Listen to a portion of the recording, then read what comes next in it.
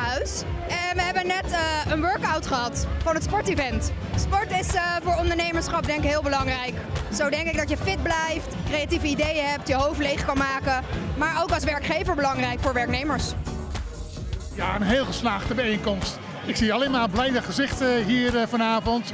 En ik heb zelf ook als wethouder sport ook eh, nieuwe sportverenigingen ontmoet.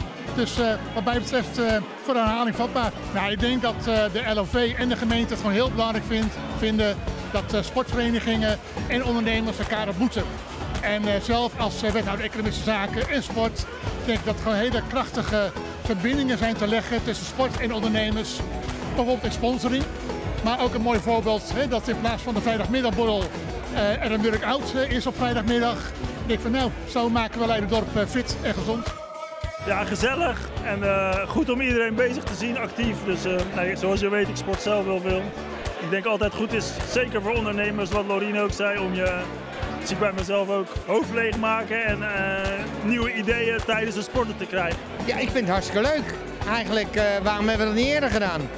Want eh sporten, ja, verbroedert ook. Er zijn veel meer verenigingen dan wij eigenlijk beseffen als ondernemer. Ik zit natuurlijk wel in de sport.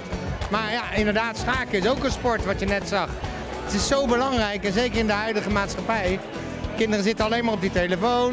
Ze moeten meer bewegen. Ik werk grotendeels in de supplementen, dus eh, sport, gezondheid en eh, een beetje wellness gerelateerd. Ik werk veel met magnesium, deels met therapeuten, maar ook gewoon voor, eh, ja, voor iedereen eigenlijk. Van, eh, van kinderen tot en met oudere mensen goed te gebruiken en aan te vullen.